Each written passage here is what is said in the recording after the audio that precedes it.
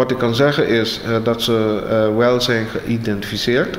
Uh, het zijn ook uh, uh, personen die meerdere malen naar Curaçao zijn gekomen. Dus laat zeggen, op dit moment beschouwen we ze ook als economische migranten.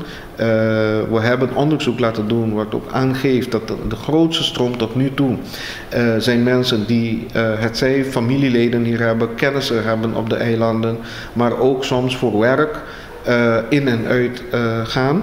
Uh, en deze personen die, die waren inderdaad eerder geweest uh, op Curaçao.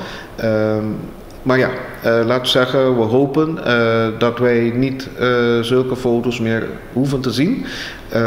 en als het verder escaleert, want dat hebben we ook gemerkt, dat met de eerste aankondiging of uitlatingen van president Maduro, dat er een, toename, was van bootjes die hier naartoe trekken en misschien ook uh, Aruba vanuit paniek dat de grenzen dicht gaan.